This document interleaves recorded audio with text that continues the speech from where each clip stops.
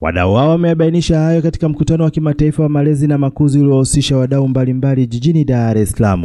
Wamebainisha kuwa serikali ikiwekeza katika elimu ya makuzi na malezi bora, huku wakitumia fursa hiyo pia kuziinua familia ambazo hazina uwezo mkubwa ili kufikia malengo. Sasa hivi sisi kama wabunge, lengo letu kubwa ni kuisimamia serikali na kuishawishi ili iweze kuwekeza nguvu kubwa, iweze kutenga bajeti kwa ajili ya kutekeleza hizo afua mbalimbali. Serikali itakuwa na uwezo sasa wa kufanya machaguzi.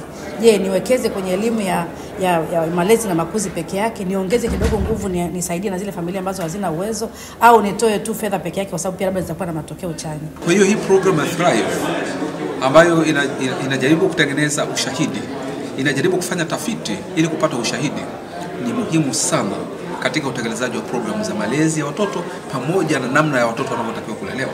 Kwa upande wake mkurugenzi wa maendeleo ya watoto wa Wizara ya Maendeleo ya Jamii, Jinsia, Wanawake na Makundi Maalum, Baraka Makona, amesema kuna umuhimu kuwekeza katika tafiti ili kujua changamoto za malezi na makuzi kwenye ngazi za chini ili kupata ufumbuzi wa changamoto hiyo. Kila siku kama serikali tumekuwa tukihakikisha kwamba tunapeleka jitihada kubwa sana ili huduma tunazozitoa ziweze kuwafikia wananchi wa chini kabisa, na mtakumbuka pia Mheshimiwa Makamu wa Rais alizindua eh, mwezi Januari mwishoni E, mpango wa wahudumu wa afya ngazi ya jamii e, wa kujitolea ngazi ya jamii ambayo itakuwa ni kama jeshi kubwa ambalo litakuwa linafikisha elimu hii ya masuala ya malezi, makuzi na maendeleo ya mtoto kwenye ngazi ya familia, kwenye ngazi ya kaya kabisa.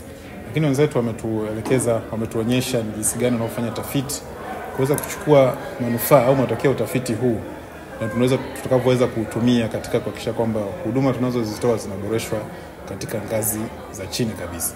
Katika mkutano huo wadau hao wamejadili mada mbalimbali ikiwemo changamoto hiyo ya mmomonyoko wa maadili ambao umekuwa ukichangiwa na mabadiliko ya teknolojia pamoja na wazazi kushindwa kusimamia malezi ya watoto wao. Bwana Shomari, Star TV, Dar es Salaam.